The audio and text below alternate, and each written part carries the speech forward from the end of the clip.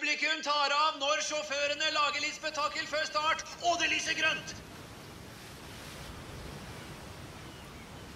Norge, vi har et flott race foran oss som